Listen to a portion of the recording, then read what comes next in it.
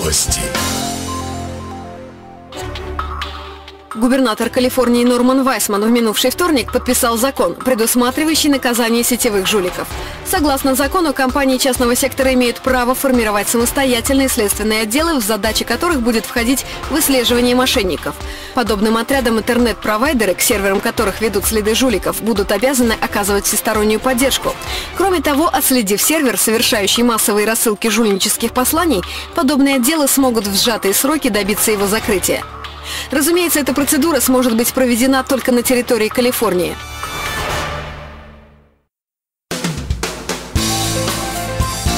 Новости.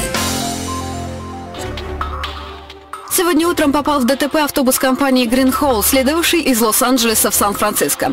В результате аварии погибло два человека, еще более 30 пассажиров получили травмы различной степени тяжести.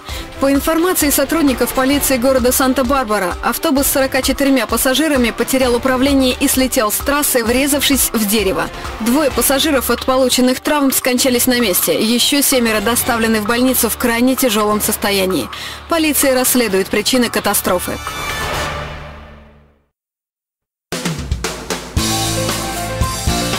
Новости.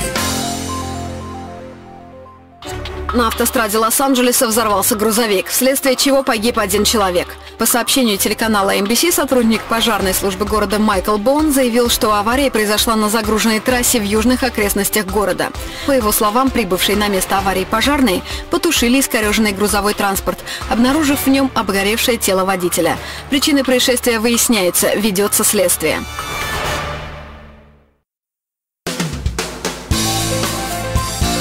Новости.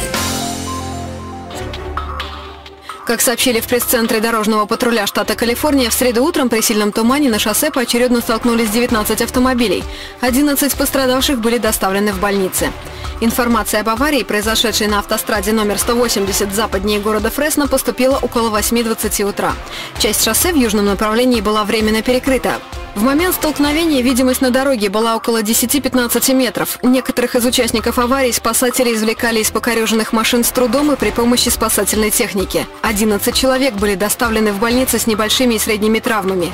Остальные пострадавшие отказались от медицинской помощи.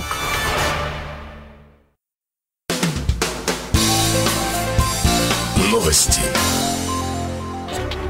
В Мерседе, Калифорния, пьяный дальнобойщик совершил наезд на четырех пешеходов, а также повредил припаркованный у обочины автомобиль и въехал в ресторан. В кабине грузовика полиция обнаружила пустую бутылку из-под виски. Свидетели рассказали, что тягач двигался со скоростью примерно 60 миль в час. Полицейским удалось быстро восстановить картину происшествия благодаря показаниям очевидцев. Пьяный водитель, сбив двух пешеходов, врезался в припаркованный автомобиль, затем направил свой грузовик по направлению входа в ресторан, из которого в этот момент выходили еще двое человек. Пострадавшие госпитализированы.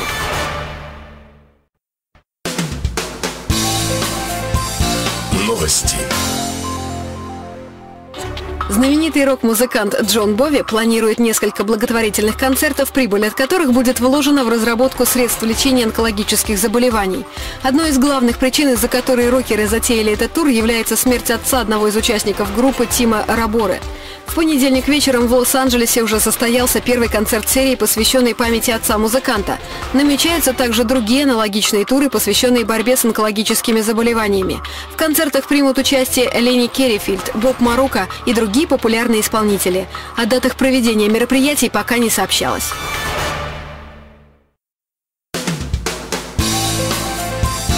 Новости.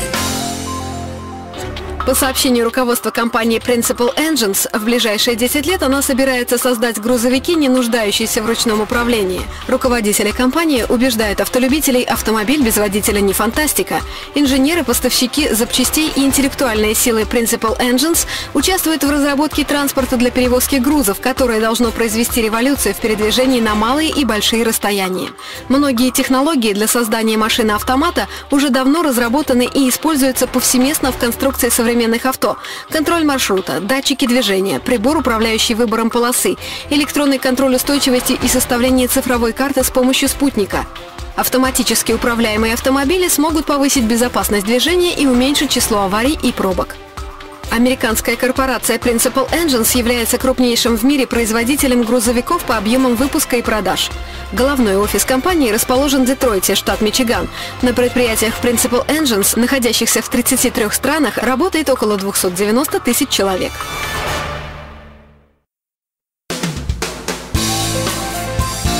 Новости. Калифорнии автобус с 50 пассажирами и тягач столкнулись на высокой скорости в районе города Реддинг. Три человека были доставлены на вертолете в больницу. В данный момент они находятся в критическом состоянии. Автобус направлялся из Вивервилля в Берни. Столкновение произошло на перекрестке. Тягач уже приступил к маневру, а водитель автобуса не успел остановить многотонный транспорт.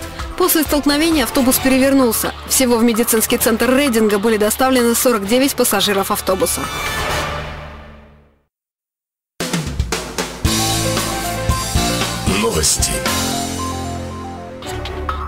Заезд пожилого мужчины в горящем грузовике впечатлил не только обывателей, но и видавших виды полицейских Колфакса, штат Калифорния. Зрелище было особо впечатляющим, так как произошло в темное время суток в районе часа ночи. В среду вечером мужчина, имя которого полиция не называет, въехал в стоп. Провод под высоким напряжением упал на машину, вследствие чего в ней произошло возгорание. Однако водителя это не остановило, он вернулся на дорогу и продолжал свой путь, пока его автомобиль полностью не загорелся. Водителю пришлось выпрыгнуть из горящей машины. Отделался мужчина неопасными ожогами рук. Сейчас беспечный ездок взят под стражу и ожидает суда в тюрьме Колфакса.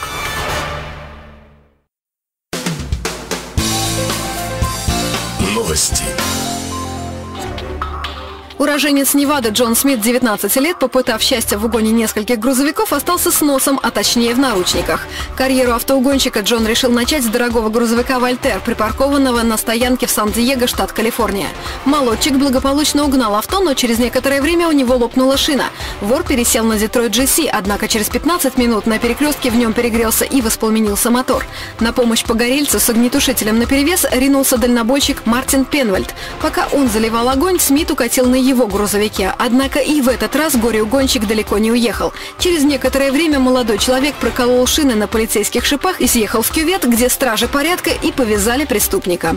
В данный момент Джон Смит пребывает в тюрьме, ожидая решения суда. Ему предъявлено обвинение в угоне транспортного средства, в намеренном причинении вреда и опасном вождении.